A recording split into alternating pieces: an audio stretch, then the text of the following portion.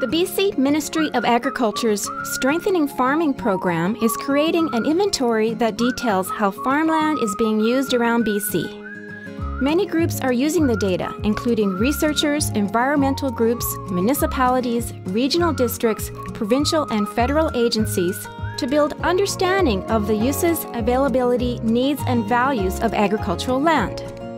Data is collected on a parcel basis, including information on crops, livestock, irrigation, buildings, and land availability for future food production.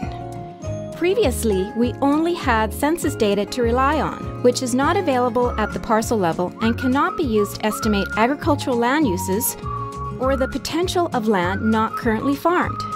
It also does not include critical details such as conservation areas, road right of ways, and other important non farm uses. Agricultural land use inventory data gives decision makers what they need to make realistic plans and policies about farmland protection.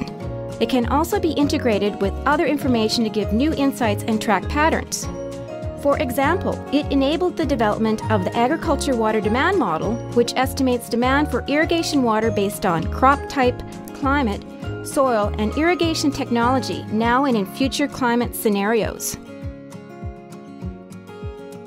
Since we began in 2006, 32 communities have benefited from this work. They have used the inventories as a basis for their agricultural area, watershed sustainability, economic development, and official community plans.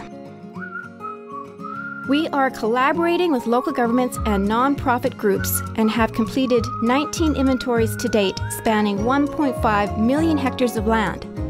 Inventory reports are available to the public on our website. This inventory is increasing awareness of BC's agricultural land base and is a resource that will enhance the ability of communities around the province to feed themselves now and into the future.